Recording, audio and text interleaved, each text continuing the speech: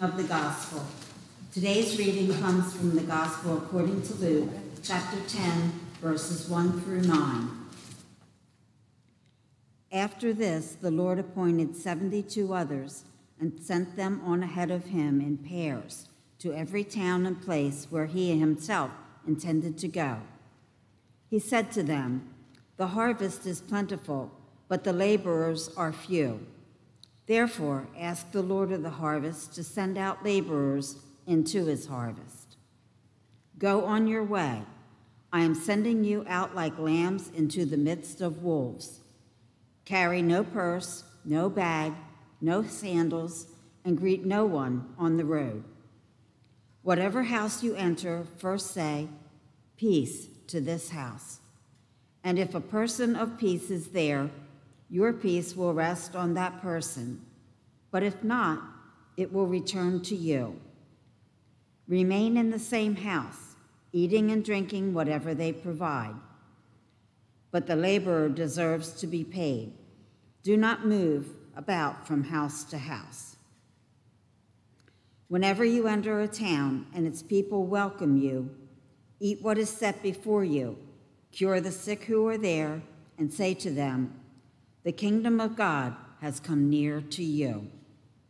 Here ends the reading for today. May this scripture inspire us all to walk in the way that leads to life.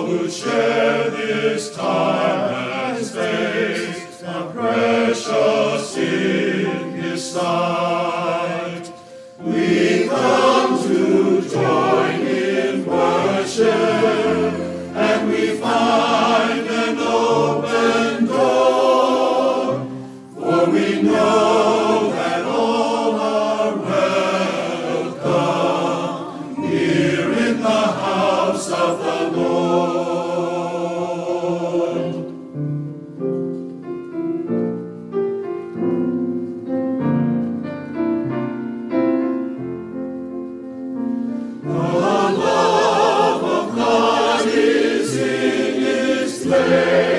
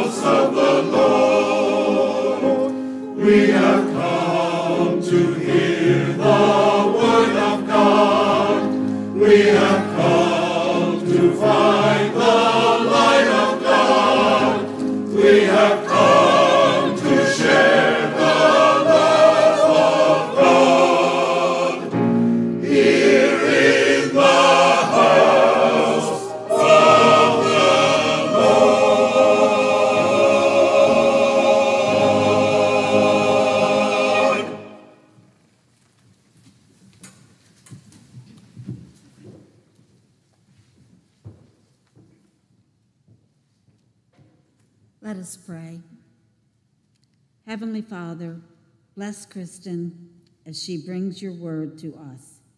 Be with her as she goes out to our community, feeding our souls with everlasting love from you.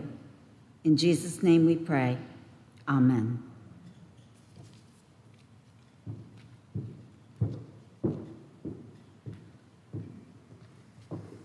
Good morning, church. I, um, I'm more comfortable behind here because I use my hands. I can't, like with Gwen last week, I admire her. She can stand up there with the mic, but uh, I am very animated, so this is where my place is. Um, but this morning I'm going to start with a story that some of you might be familiar with. It's about a mouse, a chicken, a pig, and a cow that live on a farm. A mouse is out exploring and looks through the crack in a wall to see a farmer and his wife opening a package. What food might it contain? The mouse begins to think about all the different novelties he could be enjoying. Maybe cookie crumbs, or a piece of pie crust, or best of all, a piece of cheese. He was devastated to discover it was a mousetrap. Retreating to the farmyard, the mouse proclaimed the warning There's a mousetrap in the house! There's a mousetrap in the house! The chicken clucked and scratched, raised her head, and said, Mr. Mouse, I can tell this is of grave concern to you, but it is of no consequence to me. I cannot be bothered by it. The mouse then turns to the pig and told him, There's a mousetrap in the house, there's a mousetrap in the house. The pig sympathized and said, I'm very sorry, Mr. Mouse, but there is nothing I can do but pray. Be assured you are in my prayers. The mouse turned to the cow and said, There's a mousetrap in the house, there's a mousetrap in the house. And the cow said, Wow, Mr. Mouse, I'm sorry for you, but it's no skin off my nose. So the mouse returned to the house, head down and dejected, to face the farmer's mousetrap alone. That very night, there was a sound heard throughout the house, like the sound of a mousetrap catching its prey. The farmer's wife rushed out to see what was caught.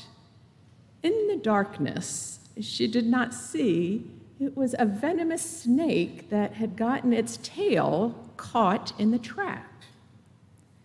The snake bit the farmer's wife. The farmer rushed her to the hospital and she returned home with a fever. Everyone knows you treat a fever with fresh chicken soup. So the farmer took out his hatchet to the farmyard to fetch the soup's main ingredient. But the wife's sickness continued, so friends and neighbors came to sit with her around the clock. To feed them, the farmer butchered the pig. The farmer's wife still did not progress well, and she eventually died.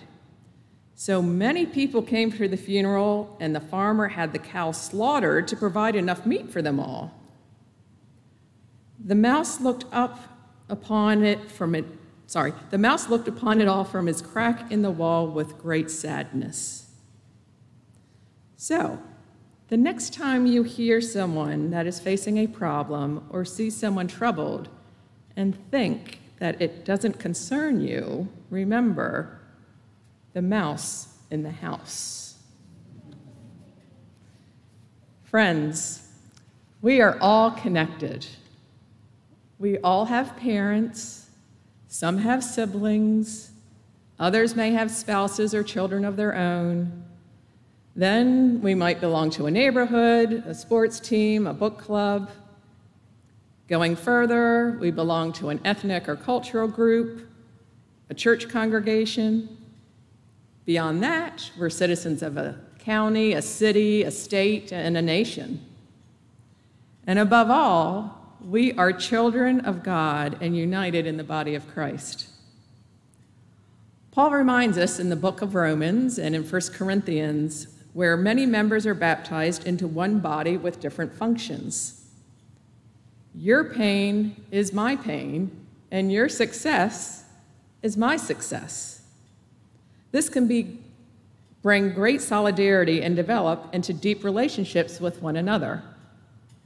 Yet, on the other hand, we are also viewed and judged collectively by others as the body of Christ. People observe our actions and our behaviors. A recent poll of over 3,000 adults commissioned by the Episcopal Church in late 2021 reported the following results 26% of those polled said Christians are hypocritical and judgmental. 23% think they are self righteous. And 13% said they were arrogant. On the plus side, 47% said Christians were giving, and 44 said they were loving. Now, I would argue there is still significant room for improvement here. Reverend David F. Watson, who is a professor of New Testament and academic dean at United Theological Seminary, responded to these results and asserted I think what the poll demonstrates is that what we have not done a, a sufficient job of teaching who people. Sorry, let me repeat the quote. I think what the poll demonstrates is that we have not done a sufficient job of teaching people who Jesus is and why he's important. Instead, our culture has become more polarized and self centered. This is fed by the other disturbing statistic that 48% of mainline Protestants consider their relationship with Jesus private. How are we meant to connect with one another and expand the kingdom of God if we keep our faith private? Althea Spencer Miller, an associate professor of New Testament at Drew University, also responded to the poll and said, I do not want to pronounce judgment on someone who thinks they need to be private about their Jesus. Yet avoiding discussion about faith eventually leads to too narrow a conception of it. She continues, while it may be helpful for a while, after a time, it becomes the least helpful way of finding yourself in the very world that God created. Jesus invites us to explore contacts with other people who don't think like ourselves. The concept of solely private relationship with Jesus also struck Reverend Watson as a non starter. He says, Christ didn't just call a bunch of individuals and say, Have a personal relationship with me in your heart. He called together a community, and that community we call is church. America's ethos of the rugged individual also contradicts the concept of a community where people are accountable and supportive of one another. I would add that when you also acknowledge the cultural value of busyness, our ability to see opportunities to witness and engage with one another is limited. We are so busy doing instead of being. Reverend Watson asserts I think we live according to a myth that we can do things on our own. I don't think anybody accomplishes anything of value without the guidance and assistance of the Holy Spirit. We need one another. And we need God to provide us direction and to provide us the gifts we need to carry out what is truly good in the world. So, the scripture today reminds us of the importance of the Holy Spirit in our connection to one another to fulfill God's mission, which is to make disciples of Jesus Christ for the transformation of the world. It is through this obedience that we find peace in ourselves and in the world. The passage from Luke this morning takes place during Jesus' journey to Jerusalem, where his destiny lies. The terrain surrounding Jerusalem is rugged and unforgiving. There's rocky hills and little water to the west, and forbidding desert to the east, and scorching temperatures throughout the year. Travel could be dangerous, so hospitality to the traveler was an ongoing need and a sacred duty. During his travels, Jesus cultivates the faith of the 12 disciples, teaches the crowds, and spars with spiritual leaders and teachers who oppose his religious vision and its embodiment in practice. At the start of chapter 10, Jesus' ministry takes a sense of urgency and he sends out 72 disciples. This was a second mission on which Jesus sent a group of his disciples. The first being the mission of the 12, which is recorded earlier in Luke chapter 9. Only Luke records this supplemental vision, though there are similarities of reference in the Gospels of Matthew and Mark. It is not surprising, though, to find this narrative in Luke. Luke had an interest in showing the development of God's mission from a small beginning, growing to a worldwide establishment in the book of Acts. While Jesus is the chief actor, the purpose that drives the story is God's. Divine empowerment through the Holy Spirit authorizes Jesus and his apostles, their message, active healing, and inclusive hospitality embody God's rule. Luke's emphasis in today's scripture is the configuration and directives Jesus gave disciples in preparation for their ministry and the expansion of God's kingdom. The 72 disciples are sent out in pairs, knowing that according to the Mosaic law that two witnesses are needed for credible testimony. Together with the original 12, the 72 disciples are to announce the approach of God's reign and heal the sick, relying on the hospitality of those they encounter. In addition, they are given detailed instructions about the attitude that they should have when they enter each home and receive hospitality. They went empty handed, but were empowered by Jesus with the following gifts First, speak peace into the home. Peace, or shalom, means more than restfulness or freedom from stress. It also means protection, healing, and financial security. Second, eat what is set before them. These were Jews going out, and it was believed what Jesus was referring to was that what might be offered to them may not be kosher, but that it was okay to eat what was presented before them. Third, heal those who were sick. They would have the ability to bring healing through the power of God to those in the household. And finally, to say the kingdom of God has come near to you. There are three clear instructions about the disciples' conduct and mission. So, to eat what is provided, heal the sick, and announce the kingdom. The three facets of the mission encompass the creation of community, caring of physical needs, and the proclamation of the gospel of the kingdom. The disciples, therefore, were charged to continue the three facets of Jesus' work in Galilee but why greet each home with a declaration of peace? As noted earlier in the passage, it was anticipated that not everyone would receive the gospel message well. In verse 3, it says, Go on your way. See, I am sending you out like lambs into the midst of wolves. Living in a culture that I feel is significantly divided and polarized, the risk of offending someone is greater than ever. Perhaps this is one of your fears that Pastor Vicky identified a few weeks ago about being concerned about being misunderstood or what other people think of you. I know this hits home for me. I have extreme anxiety when I know I have to have a controversial conversation, whether at work or at home.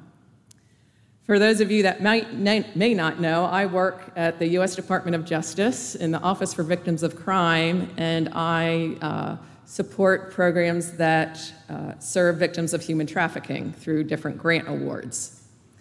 And so, with that comes a lot of responsibility and accountability. So, in the last few weeks, I've had several uncomfortable conversations. One was with a program who was not compliant with their award conditions, and I was needing to hold them accountable. And I hate being the bad guy because I want to be liked by everybody.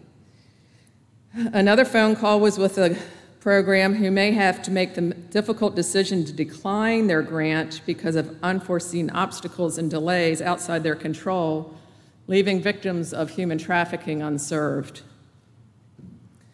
I also anticipate that I will encounter defensiveness or resistance as I advocate for survivors of domestic and sexual violence and human trafficking through my ministry.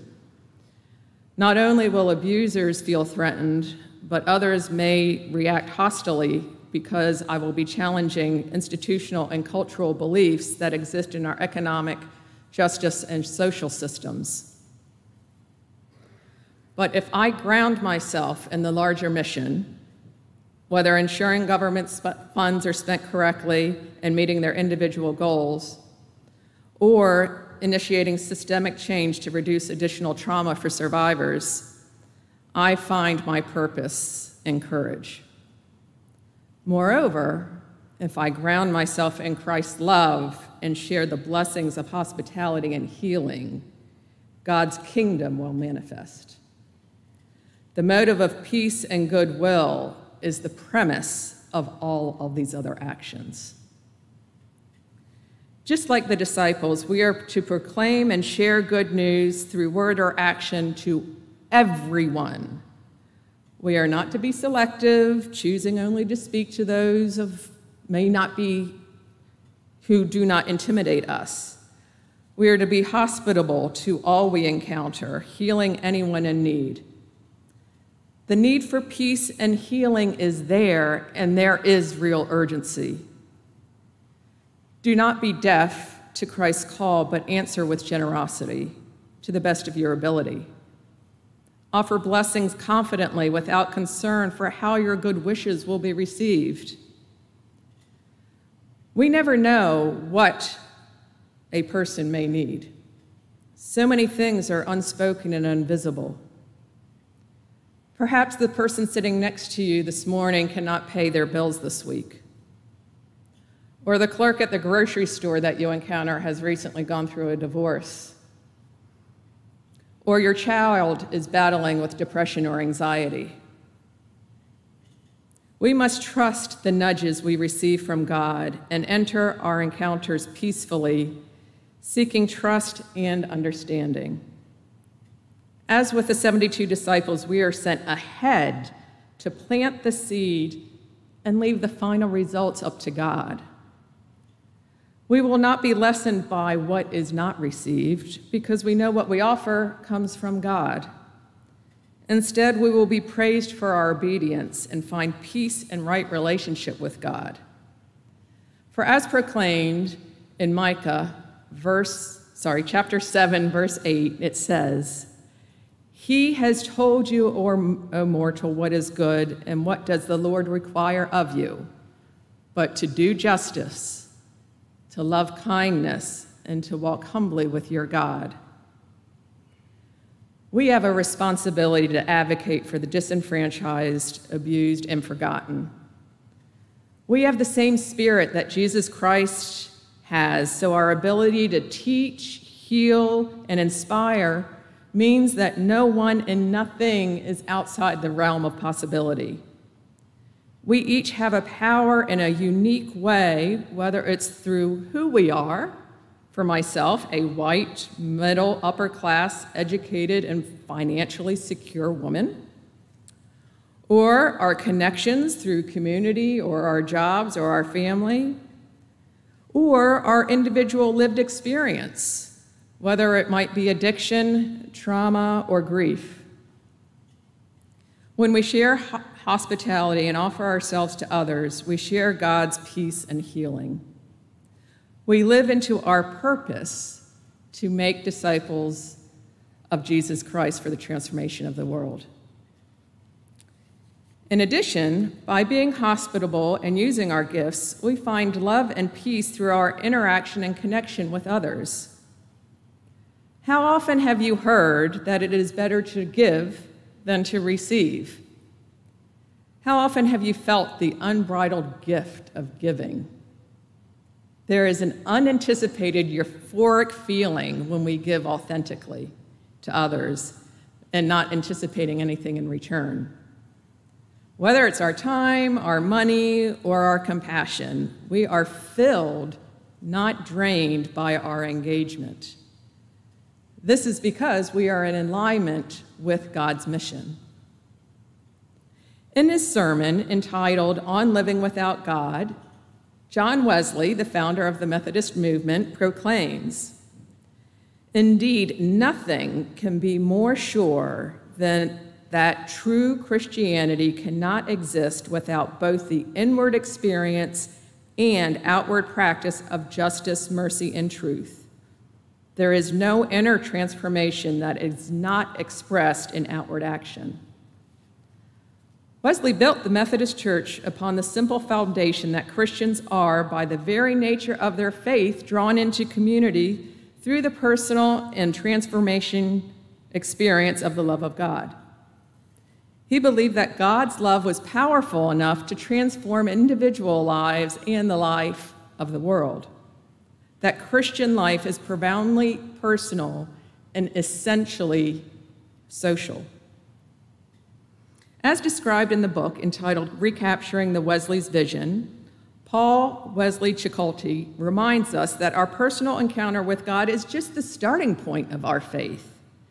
It marks the beginning of a loving relationship that draws us into a whole new set of relationships within the family of God, as affirmed in our sacraments of baptism and the Lord's Supper. However, self love the consequence of knowing that God loves and values us must be connected necessarily to social love, loving our neighbor as we love ourselves, for life to be truly whole. Community is therefore necessary, and it is only in the context of a community that God's love will grow in us and we will find peace. The great danger in Wesley's age, and what I would argue even today, was the tendency for many of us to privatize our religious experiences, as evidenced in the survey conducted by the Episcopal Church. Chilcote asserts that Christianity is essentially a social religion, and to turn it into a solitary religion is to destroy it. Moreover, it goes against God's purpose. In another sermon entitled Works, John Wesley states that to conceal this religion of love is impossible and contrary to God's design. We must stay connected to one another to experience the love and peace of God. I experienced this profoundly myself during my time in seminary. I was learning academically about God and the doctrine of the United Methodist Church, but I felt very disconnected and alone. My personal relationship with God and with others was disintegrating. I was working full time, attending classes, writing papers, and wearing all the hats of wife, sister, stepmother, friend, daughter, church parishioner, among others. I allowed my time and my priorities to be dictated by the demands of the world rather than valuing and nurturing the relationships that sustained me.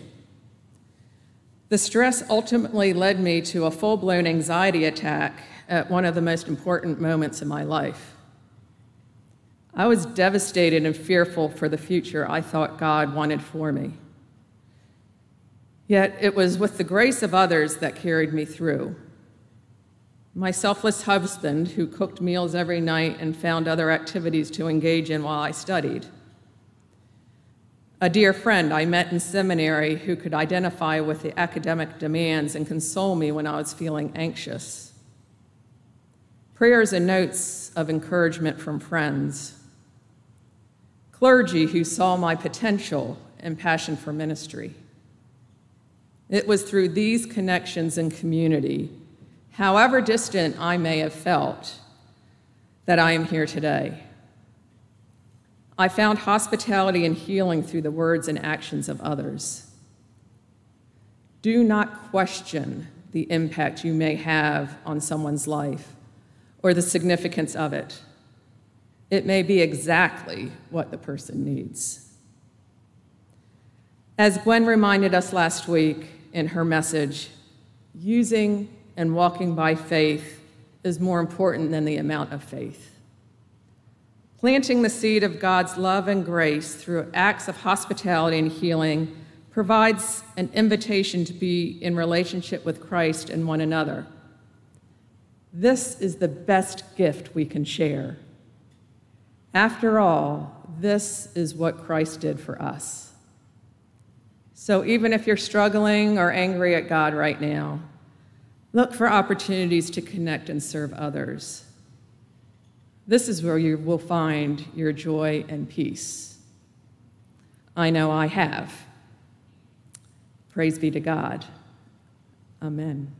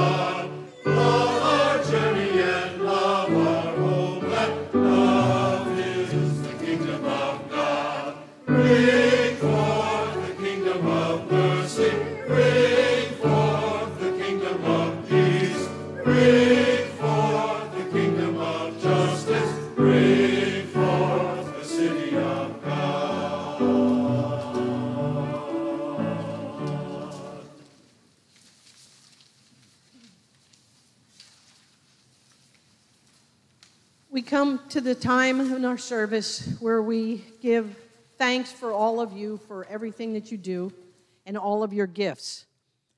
Today, what we want to highlight in our offering message is one of two of the ministries that um, go unnoticed a lot of times, but many of you have probably been the recipients of it.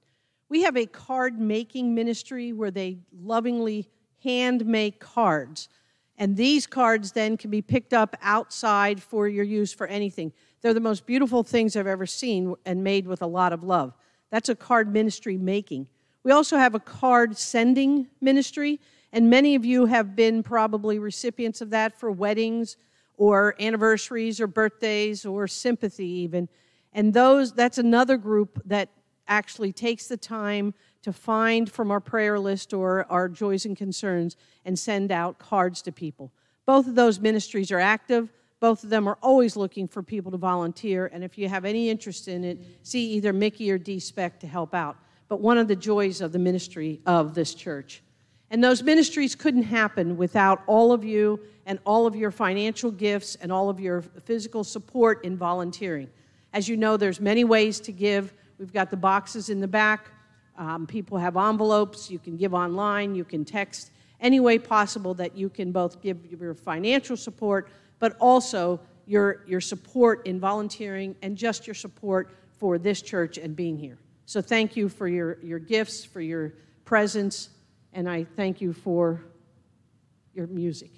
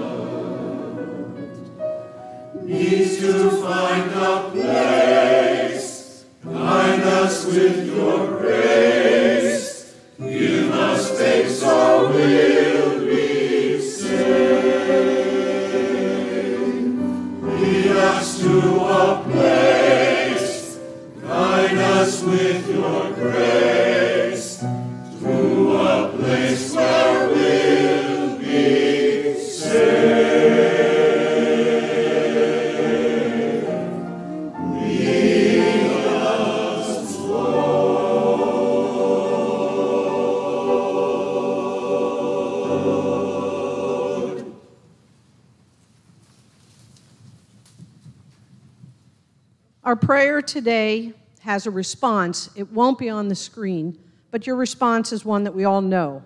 And the response is Hear our prayer, which you would say after I say, God of love. Gracious God, may your Spirit give strength to all your people as they work and witness in your world. Bless the faith communities at Bethel, Faith in Israel. Unite us in your truth and love and help us to show your love to others. God of love, hear our prayer. Father God, we pray for our pastors and minister of music as they travel and enjoy the beauty and wonders of Alaska. Bless them with a restful time and bring them back safely to us. God of love, hear our prayer. God, our Creator, help everyone to share all the good gifts that you have given to us. We pray for our community and for all those who live and work in this area. God of love, hear our prayer. God, our friend, we pray for our families and friends. May we be able to help each other just as you love and help us. We pray for those in need, for sick people, for those in hospital care, and those in need of healing. God of love, hear our prayer. We pray for ourselves, all that we will do this week, and all those that we will meet. Loving God, we give you we give this week to you. Be with us in all that we will do. May we enjoy this week and truly be in the be the hands and feet of Jesus. God of love, hear our prayer. Those things, O God, that your servants have prayer for, and in the purpose of your love, answer our prayers and fulfill our hopes. For Jesus' sake, amen. Now, now join us as we say the prayer that Christ taught us. Our Father, who art in heaven, hallowed be thy name.